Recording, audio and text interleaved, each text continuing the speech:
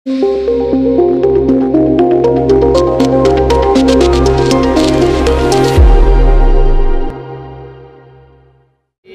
काँग्रेस पक्षाचा राजीनामा दिलेला आहे. उमेदवारी मिळण्याची शक्यता आहे. जर त्यांना उमेदवारी मिळली तर तालुक्यामध्ये प्रतिस्पर्धेमध्ये वाढ होते काय वाटतंय? नाही प्रतिस्पर्धी प्रतिस्पर्धी कोणी जरी असला तरी लोकशाहीमध्ये प्रत्येकाला विधानसभेच्या निवडणुकीला उभं राहण्याचा अधिकार आहे. आणि प्रतिस्पर्धी कोणी जरी असला तरी तालुक्यातली जनता ही ज ज्या उमेदवाराला स्वीकारेल तो या तालुक्याचा आमदार होईल. आणि मला पूर्णपणे विश्वास आहे की जे काय विकास कामं आम्ही ह्या तालुक्यामध्ये केली जे काय प्रेमाचे संबंध वल्लभशेठ बेनके साहेबांनी आणि मी आम्ही या तालुक्यामध्ये निर्माण केली जे काय आम्ही गावोगावी संघटन उभं केलं विरोधी पक्षाचे लोक जरी आले तरी त्यांच्या प्रती मोठ्या प्रमाणामध्ये काम केलेलं आहे. या सगळ्या लोकांचा आशीर्वाद हा माझ्या पाठीमागे राहील आणि बहुसंख्य मताने हा माझा विजय झाल्याशिवाय राहणार नाही अशी माझी भावना आहे. महायुतीमधल्याच आज तुमच्या सहकारी आशाताई बुचके यांनी पण फॉर्म आज भरलेला आहे. आशाताई गेले तीन टर्म निवडणुकीसाठी ते आजमावत आहेत. म्हणून त्यांना आमदार व्हायचंच अशा प्रकारची त्यांची भावना आहे.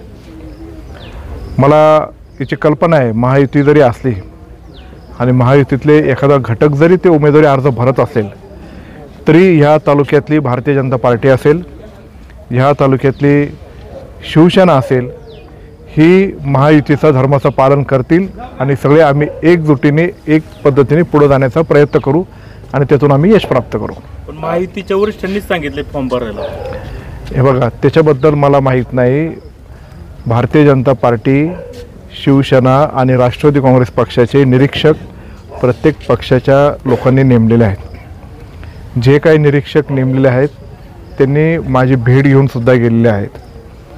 महायुतीचा अधिकृत उमेदवार घड्याळ या चिन्हावर अजितदादा पवार आणि सुनील तटकरे साहेबांनी कालच माझ्या नावाची घोषणा केलेली आहे.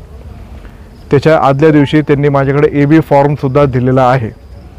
म्हणून महायुतीचे सर्व जे घटक पक्ष आहेत ते सगळे आम्ही एकत्रित बसून पुढं एक समन्वयाने मार्ग काढण्याचा निश्चित प्रकारे प्रयत्न करू. भारतीय जनता पार्टीचे जरी काही दोन काम करत असेल त्यांना आम्ही सामावून घेऊन त्यांच्याबरोबर समन्वयाने चर्चा करून पुढं जाण्याचा निश्चित प्रकारे प्रयत्न करू. ताईंला आता कुणी सांगितलं काय सांगितलं त्याच्याबद्दल मला कल्पना नाही.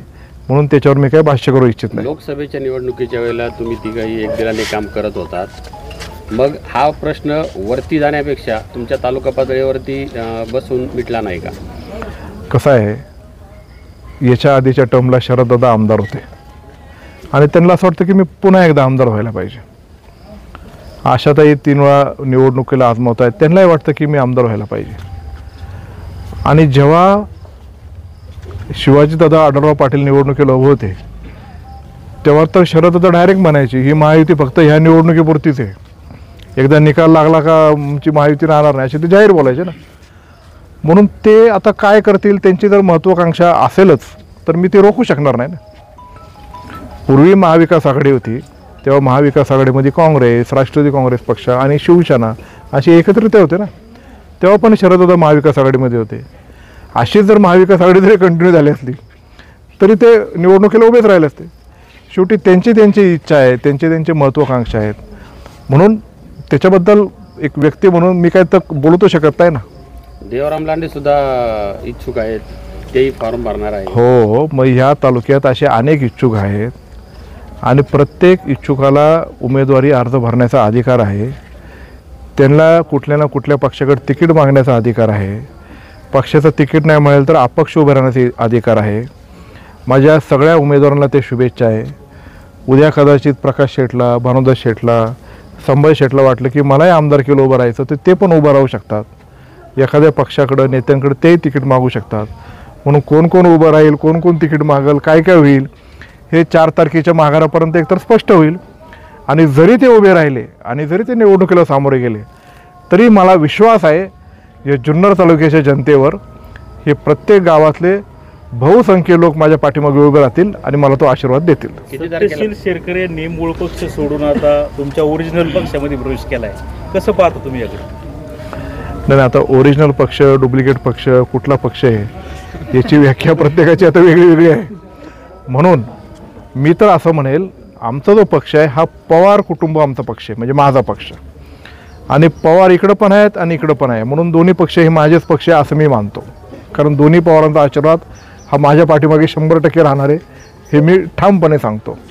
आणि म्हणून सत्यशील दादाने कुठल्या पक्षात जावं महाविकास आघाडीने काय करावं का त्यांनी शिवसेनेकडून लढावं हा त्यांचा वैयक्तिक आणि त्यांच्या आघाडीचा प्रश्न आहे.